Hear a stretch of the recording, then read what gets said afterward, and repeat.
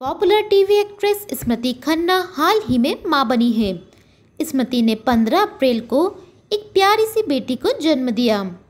स्मृति खन्ना और गौतम गुप्ता ने अपनी नन्ही सी परी का नाम अनायका गुप्ता रखा है।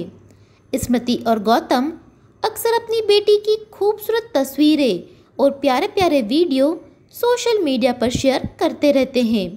हाल ही में स्मृति ने पहली बार बेटी के साथ फैमिली फ़ोटो शेयर की है।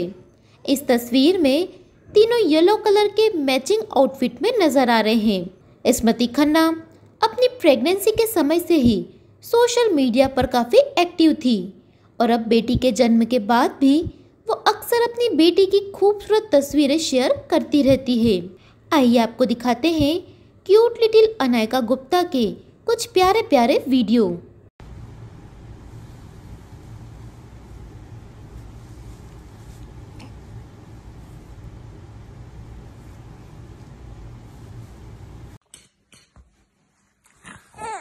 Ow.